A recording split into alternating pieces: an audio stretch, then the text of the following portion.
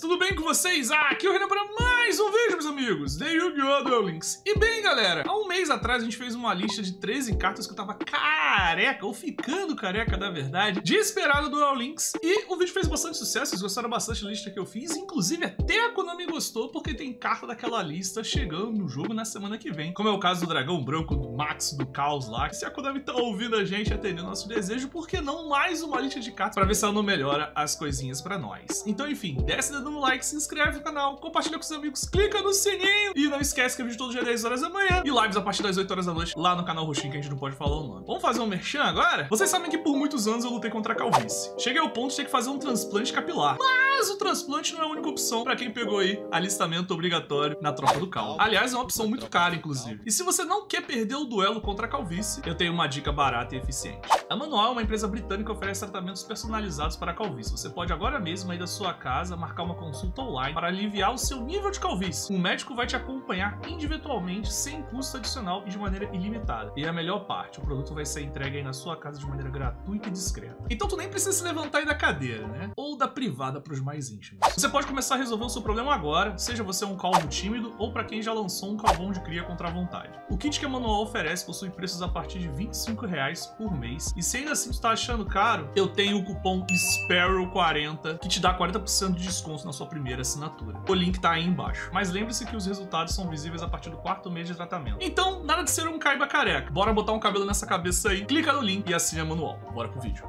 Bem, galera, como no último vídeo a Konami atendeu aos nossos pedidos e trouxe os rituais de Dragão Branco que a gente falou no vídeo anterior, eu quero começar pelo próprio Blue Eyes também. Dragão Branco já tem várias cartas no Duel Links, tem mais coisas para chegar na semana que vem com a próxima box e o aniversário do Kaiba, mas eu quero citar uma carta que é relativamente nova do arquétipo, na verdade são duas, tá? Acredito que ela poderia dar chances do Dragão Branco ser competitivo no jogo e ficar bastante poderoso e voltar aos seus momentos de glória que ele já teve no Duel Links. Eu tô falando do Dragão Tirano de Olhos Azuis. Ele é uma fusão do dragão branco que não necessariamente é o dragão branco, mas ele é um monstro olhos azuis ainda assim. Ele é um monstro dessa carta aqui, tá vendo? A asa tirana. É esse próprio monstro dessa carta aqui que você vai fazer a fusão dele agora. Inclusive tem ele aqui, o dragão da explosão tirana, que é uma versão mais fraquinha dele, podemos dizer assim também. E o que, que o dragão tirano de olhos azuis faz? Ele exige como matéria de fusão um dragão branco de olhos azuis e qualquer outro dragão. Dois dragões brancos você pode fazer. Só que ele tem um pulinho do gato aqui, que é o seguinte. Primeiro deve ser invocado invocação fusão ou invocação especial deck adicional oferecer como tributo um dragão branco de olhos azuis equipado com um monstro de fusão. Ele não é afetado por cartas de armadilha ou seus efeitos. Ele pode atacar todos os monstros que seu oponente controla uma vez cada e uma vez por turno. No final da etapa de dança, esse card batalhou. Você pode escolher uma armadilha no seu cemitério e baixá-la na sua zona de magias e armadilhas. Então quer dizer, o bicho tem 3.400 de ataque, ele vai resolver muita coisa na porrada. Pode bater em todo mundo e conforme ele vai batendo, ele vai recuperando suas armadilhas e mantendo o seu jogo. Agora, como você vê, ele é afetado por armadilhas. E tem muitos decks que precisam usar as traps limitadas a 3 para poderem ter chance no meta. Então esse cara sozinho seria um empurrão bem legal para Dragão Branco poder competir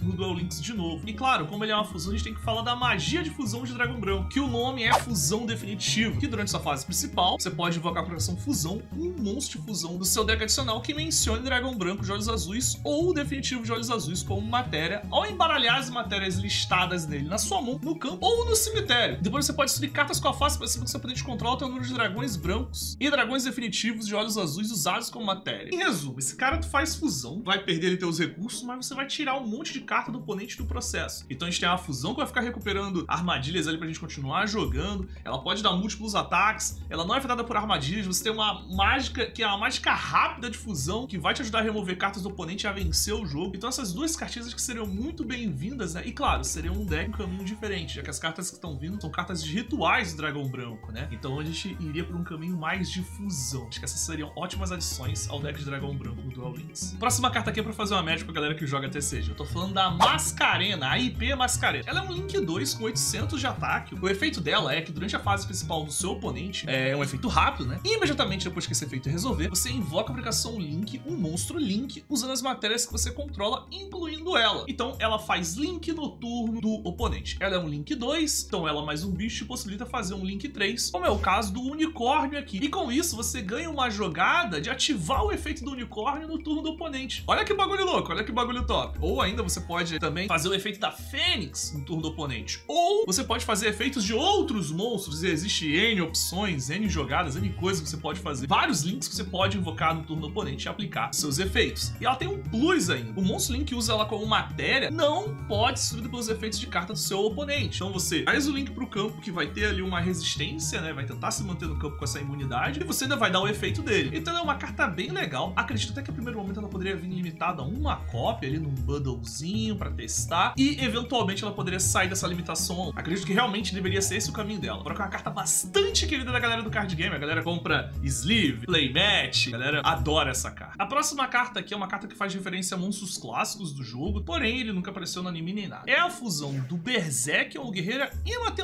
com o Valkyrion, o guerreiro imã. O nome dele é Magnum Imperium, o robô de batalha super condutor. Ele nem tem guerreiro imã no nome. E ele exige tanto o Valkyrion quanto o Berserker como matéria, né? E deve ser invocado trocação fusão acima e não pode ser invocado de nenhuma outra forma. E, uma vez por turno, durante turnos qualquer duelista, quando seu oponente tiver uma carta mágica, armadilha ou efeito de monstro, você pode negar ativações se acontecer destruir esse card. Além disso, se esse card com a face para cima sob o controle do seu dom deixar o campo devido a um efeito de carta do oponente, você pode invocar com especial um Valkyrion e um Berserker na sua mão ou deck, ignorando as condições de invocação. Em resumo, a ideia aqui é ter um deck muito louco que tu vai invocar esse cara que tem 4 mil de ataque, 4 mil de defesa, consegue dar uns negate e se morrer, vai cagar no campo um Berserker com 3 mil e pouco de ataque, 3 mil e pouco de defeitos, né? e o Berserker, na verdade, chamei o Berserker de Valkyrion, tá? E o Berserker aqui, de fato, com 3 mil de ataque e 2.800 de defesa. Fora que você vai ter todas as cartas de guerreiro imã ali no meio, que vão ficar sempre pulando ali no campo e trazendo outras e gerando mais recursos. Você poderia fazer esse cara até com uma Necrofusion, por exemplo, banindo uns guerreiros imã que ficarem perdidos por lá, né? Guerreiro chegou a ser meta há um ano, dois anos atrás, um momento meio nebuloso ali do Duel Links, acho que antes da era Link ele chegou a ser o meta, e depois sumiu, né? Era apenas o meta ali, tava muito esquisito, e é um deck que conseguia segurar e usar boas traps, e a vida do Imperium aqui poderia ser bastante legal, do deck voltar a brilhar e voltar a seu momento de glória. Inclusive, ele poderia até vir limitado a 1, né? Porque ele é um bicho ali com um negate muito poderoso, né? Vai lembrar que o Asas de Cristal nega efeito de monstro e é limitado a 1 no jogo, então o Imperium vir limitado a 1 numa bundle ali, ou ainda no mercador, por que não também? Seria uma coisa bastante interessante que iria agradar muito a galera. Bem, a próxima carta aqui, na verdade, não é carta, são as cartas. Vou falar de quatro cartas de uma vez só, que são, na verdade, um novo tipo de monstro que a Konami introduziu no último ano do Yu-Gi-Oh! aí, tá? E eles não deram as caras ali no Duel Links nenhum monstro desse tipo. Assim como o mundo Vrains trouxe as cartas Sabers, né, que seriam Digimons, monstros digitais, basicamente, nós temos agora o tipo ilusionista, que são monstros que meio que não existem de verdade ali no campo. Criaturas dos sonhos, como Fred Krueger ou algo do gênero. Já foram anunciados e lançados alguns monstros ilusionistas, mas tem um aqui que encaixaria perfeito no estrutural, até mesmo para poder apresentar esse tipo de monstro no Duel Links. E eu tô falando das versões retreinadas, vamos usar essa palavra aqui, do Quimera, a besta mística voadora. Na verdade, não ele, eu tô falando da Gazelle, o rei das bestas místicas. O mesmo vale pra fusão dele aqui também, né? Que não é besta mística, é besta fantasma. E a versão retreinada da Quimera, besta mística voadora, é o seguinte monstro Quimera, a besta da ilusão. Ele exige como matéria de fusão uma cópia dessa própria Quimera aqui e um ou mais monstros ilusionistas quaisquer. O primeiro efeito dele é alterar o seu nome. O nome dele vira o nome Quimera, a besta mística voadora. Ele pode atacar todos os monstros que seu oponente controla um número de vezes a cada fase de batalha até o número de matéria usada para ele. E se esse card batalhar um monstro, nenhum dos dois pode ser destruído nessa batalha. Outro efeito que ele tem, no final da etapa de dano, se esse card batalhou um monstro do oponente, você pode mudar o ataque dele para zero e além disso o seu efeito é negado. Então monstro tranquilo, fica ali no campo, pode dar múltiplos ataques, ele bate, zera, aí pode bater nesse bicho de novo que ele acabou de zerar o ataque e deixou negado também, isso é bastante importante. Só que a questão não é só isso, a questão são as cartas de ilusionistas que podem combar com ele. A primeira que eu quero falar aqui é a fusão Quimera, que durante a fase principal você pode invocar a aplicação fusão, um monte de fusão do seu deck adicional, usando monstros da sua mão ou do campo como matéria, incluindo um monstro besta ou demônio. E durante sua fase principal, se esse card estiver no cemitério e você tiver Quimera, besta mística voadora, esse cara que tá do lado aí, você você pode ativar um dos seguintes efeitos abaixo. Adicione esse card à sua mão, bana esse card se isso acontecer e invoca esse especial tanto uma Gazelle quanto um Berfomé do seu deck ou cemitério. São basicamente as matérias de fusão desse cara que tá do lado aqui. Né? Temos aqui o Berfomé e temos aqui o Gazelle. Mas a ideia dela é que ela é a mágica rápida, então você vai poder fazer aquela fusão grandona ali em meio a jogadas e fugindo de cartas, obviamente. Só que tem dois monstros ilusionistas que te dão apoio para essas jogadas. O primeiro aqui é o Coalt do Melhoral, e se esse card batalhar um monstro, nenhum dos dois pode destruir dessa batalha, feito padrão dos monstros ilusionistas. Ele pode usar cada um dos seguintes efeitos uma vez por turno. O primeiro é que você pode descartá-lo para adicionar um monstro que mencione fusão quimera do seu deck à sua mão, exceto um outro dele. Quando seu oponente ativar um card ou efeito que escolha um ou mais cards que você controla como alvo, enquanto você controlar a quimera, besta mística voadora, esse bicho aqui, ou a fusão que finge ser esse bicho, por isso que ela troca o nome, você pode banir essa carta do campo do cemitério, negar esse efeito, se acontecer destruir essa carta. Quer dizer, o gafanhoto aqui, vamos chamar assim, do milho, ele descarta, te dá recurso para você poder combar, combar, acelerando sua jogada, e ainda protege seus monstros de alvo basicamente. Uma carta de apoio bem legal, e isso vai turbinando aquela fusão que eu comecei mostrando pra vocês. E na sequência nós temos o Cavaleiro da Espada Espelhado, né? Ele tem o mesmo efeito de não morrer nas batalhas, porque ele é um monstro ilusionista também. E você pode usar cada um dos seguintes efeitos dele uma vez por turno. Efeito rápido, você pode oferecer ele como tributo para invocar a progressão especial um monstro do seu deck e menciona fusão Quimera. E quando um monstro que seu oponente controla ativar o seu efeito enquanto você controlar a Quimera, a besta mística voadora, você pode banir esse card do seu campo ou cemitério e negar o efeito. Em resumo, você vai fazendo as plays com esses caras aqui, você consegue jogar aquela fusão no campo, além dela bater muito, ela ganha um negate por conta desse cara que vai estar no cemitério, e ainda se protege de alvos ali com o gafanhoto do milho, né? Então é um deck bem legal, bem carinha de Duel Links mesmo, né? Que eu vejo muito ele vindo no estrutural. Então, enfim, se não vir no estrutural, não vem no estrutural, mas ele seria muito real como estrutural. A próxima carta aqui entra na lista de cartas clássicas que Konami pode trazer limitadas a uma cópia, tá? A Konami começou com um monstro que renasce, depois ela trouxe cartas como Ota, é, Super Poli e a última carta que ela deu aí limitada a uma cópia de graça no jogo foi a Força Espelho. E sabe uma carta que eu gostaria muito de ver limitada a uma cópia no, no jogo e com essa raridade bonita aqui que, que a Konami, pelo menos na questão da Força Espelho, ela deu uma personalizada bem legal, é a Troca de Corações. A Troca de Corações é uma carta bem simples. Nós temos aqui outras cartas no jogo que simulam o seu efeito de alguma forma, mas estão com outra limitação, como é o caso do controle mental, por exemplo. Então se o controle mental é uma carta limitada a 3, a Troca de Corações naturalmente viria limitada a uma cópia. E ela é bem simples, você deve saber como é que ela funciona lá por causa do anime. Você ativa ela, escolhe o monstro do seu oponente e ele é seu até o final do turno. E a troca de corações seria uma carta insana e eu adoraria ver ela como recompensa do aniversário de 7 anos do Duel Links, por exemplo. Fica a dica, Konami! Bem, a próxima carta aqui é para agradar uma galera que gosta de deck de dinossauro. Dinossauro do Duel Links, ele não é meta. Foi meta lá nos primórdios, quando a gente tinha esses dinossauros aqui, tá? Esses dinossauros normais aqui sem efeito, porque o ataque deles era muito alto e você usava o campo do Rex e tinha uns monstros de ataque bem elevados, né? E hoje em dia as cartas de dinossauros, tem até algumas cartas boas no Duel Links, como é o caso do Miscelana, que tá numa box super aleatória, e tem outros caras também aqui, como o Gigante Rex, que foi drop do Hasselbell, um excelente drop, inclusive, né? Uma carta bem legal. Tá na hora de dinossauro brilhar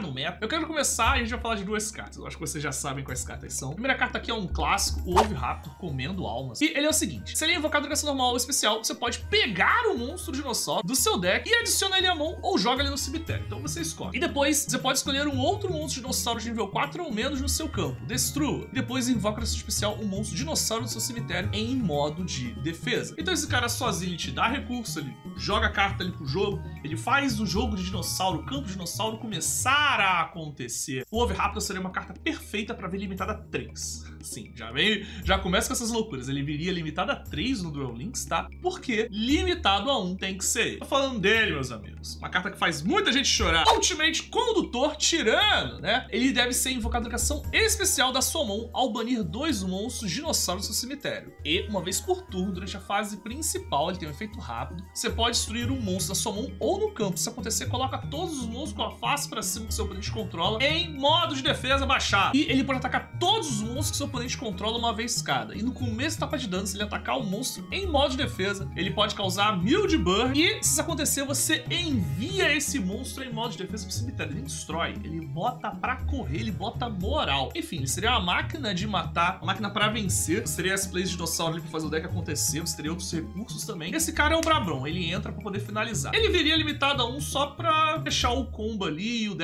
não utilizar cartas limitadas a um, né? Porque tem muito disso no Duel Links. Algumas cartas são fortes e merecem a limitação, e outras estão só ali no meio e por conta de uma outra carta muito forte, ela toma perdida. Próxima carta que eu quero falar aqui é uma carta, de certa forma, clássica do anime e pra galera do GX, tá? Eu tô falando do Herói do Elemento News Honesto. News Honesto, o Herói do Elemento. Ele tem dois efeitos rápidos. O primeiro é na mão, que você pode descartar e depois escolher um monstro herói no campo. E ele ganha 2.500 de ataque até o final do turno. E ele possui outro efeito rápido, você pode descartar o monstro herói e até o final deste turno, esse card ganha ataque igual ao ataque do monstro descartado. E você pode usar cada efeito de News Honesto Herói do Elemento uma vez por turno. Então ele buffa alguém ou ele no campo se buffa, enfim, a ideia dele é aumentar ataque e fazer herói bater ainda mais. É uma carta que, a meu entendimento, é meio boba e já podia estar no jogo há muito tempo. Fora que é uma carta que abre interesse da comunidade, a galera de herói gosta dela, porque, enfim, é uma carta classicona, o Jaden usou no anime, a galera hypa, é dar porradão e, e bater com muito ataque é maneiro pra caraca no Yu-Gi-Oh! Todo mundo gosta de dar uns porradão de 5 mil, 6 mil, 7 mil de ataque. Isso sempre é maneiro. Já tem algum tempo que a Konami lançou pra gente o Draw e Pássaro Fechadura, uma hand trap que chegou de maneira curiosa no jogo, tá? Mas ela não encontrou ainda o seu espaço nesse momento pra brilhar, exceto umas coisas bem pontuais. Mas hand traps já estão na hora de chegar no Duel Links, principalmente que alguns decks fazem uns campos bem fortes. Depois que eles montam aquele campo ali, você olha e fala, bem, eu perdi o duelo, eu vou só quitar. E é isso, eu só vou quitar porque eu não tenho chance. E uma carta que iria ajudar a gente a ter alguma chance ou impedir que os caras fizessem seus combos absurdos seria o clássico Effect Veiler, tá? Um salve pro Bota aí que o Effect Veiler desde a época que ele jogava Duel Links com frequência no canal dele. Fica um salve pra ele aí. E agora chegou o meu momento de me unir a ele e pedir também essa carta. o Effect Veiler seria bastante interessante porque ele é uma carta que você usa só no turno do seu oponente. Durante a fase principal do seu oponente, é um efeito rápido, você pode enviá-lo da sua mão pro cemitério e depois escolher um monstro de efeito que seu oponente controla. Até o final desse turno, esse monstro com a face pra cima tem seus efeitos negados. Então o que acontece? Seu oponente começou o combo ali, invocou uma carta que se você travar aquela carta ali, ele vai se ferrar e não vai conseguir fazer aquele combo absurdo máximo dele. Effect Veiler nela. Pronta, se você atrasa o jogo dele, ele não consegue fazer um campo, ele faz um campo meia boca ali, e você no seu turno, na sua volta, você tenta ali jogar, passar por cima e vencer. Em seis meses, eu acho que a gente pode acabar vendo ela. Anotem o que eu tô falando. Próxima carta aqui é uma carta de olhos vermelhos. Olhos vermelhos, tadinho, recebe coisa há bastante tempo, tá? Ele tem uma das fusões mais poderosas do jogo, que é o Dragão, e eu não vou falar do Dragão aqui porque é chovendo molhado. E tem coisa bem legal que poderia vir pra não só ajudar o Olhos Vermelhos, tá? Mas ajudar outros decks também. Eu tô falando do Dragão Metálico das Trevas de Olhos Vermelhos. Ele é um monstro de nível 10, com 2.800 de ataque, 2.400 de defesa, valores bem legais, tá? Você pode invocar a invocação especial da mão, banindo um dragão de face pra cima que você controla. Você pode invocar a invocação especial, um monstro dragão da mão ou do cemitério. Então qual é a play? Ele joga muito em Dragon Link, né? Você pode, por exemplo, invocar esse cara, aí você faz o Tiger Dragon que eu mostrei no outro vídeo, ele cai no cemitério aqui, o metálico, busca o Red Eyes Darkness Metal Dragon, chuta o Striker Dragon, por exemplo, e ativa seu efeito e traz para o campo metálico novamente, e pronto, você tem ali um Link 2, por exemplo, a partir de uma cartinha só. Fora outras coisas aí também que vão acontecendo, Striker Dragon busca carta. Enfim, falei uma coisa por alto aqui, mas é isso. Red Eyes Darkness Metal Dragon, ele possibilita umas loucuras. Você trazer mais bichos pro campo, fazer pressão, né? Porque ele é um bicho com um valor de ataque bem aceitável, né? Que pode ser útil também em algum momento, já que ele pode ativar o efeito dele e atacar depois sem nenhum problema. Esse é o vídeo de hoje. Espero que você tenha gostado. Não esquece de deixar o like aí embaixo, se inscrever no canal e, é claro, compartilhar com seus amigos. Clica no sininho também pra não perder nenhum vídeo aqui do canal, que é todo dia 10 horas da manhã. E a gente sempre faz lives lá no canal Roxinho, a partir das 8 horas da noite. Não esquece também de clicar no link aí da manual, hein? Dá uma moral pro pai aí, porque nem sempre a gente tem merchan aqui no canal e isso ajuda demais a gente aí, se você puder assinar a manual e quiser se enfrentar, se, se embelezar, ter uns cabelos e não ser mais um caiba careca. Enfim, sobre a lista de decks, aqui são várias cartas que há muito tempo eu namoro elas a vinda pro Duel Links, tá? São cartas que eu gostaria de ver e poder jogar elas, algumas, como eu falei, assinar talvez junto com uma skill, vir com alguma limitação pra não ficar uma coisa muito quebrada de começo, e a Konami fazer seus próprios testes também. Mas, enfim, todas elas eu gostaria. Tem alguma carta que ficou de fora dessa lista e da fora do primeiro vídeo também? Coloca aí nos comentários, cara. Lembrando que essa é uma parte 2, tá? Não vai falar de carta aí nos comentários que estão lá no primeiro vídeo, não dá mole, hein? Qualquer coisa vai lá ver a outra lista também. E se esse vídeo der bom, quem sabe a gente não faz uma terceira lista, beleza? Então é isso, galera. Dois vídeos ao outro lado lá, escolhe um deles e continua aqui no canal. Valeu, tamo sempre junto e, de preferência, cabeludo. Wait!